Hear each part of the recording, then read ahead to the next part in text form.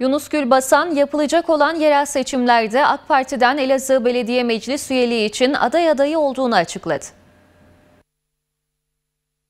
31 Mart yerel seçimlerine az bir süre kala AK Parti'de belediye genel meclis üyeliği için aday aday başvuruları devam ediyor. Bu kapsamda Yunus Gülbasan yapılacak olan mali idareler seçimlerinde AK Parti'den Elazığ Belediyesi meclis üyeliği için aday aday olduğunu açıklayarak resmi müracaatını yaptı.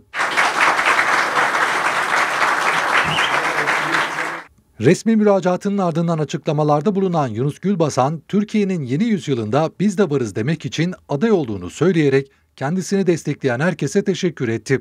Türkiye'nin yeni yüzyılında bizler de varız demek için geldik buraya.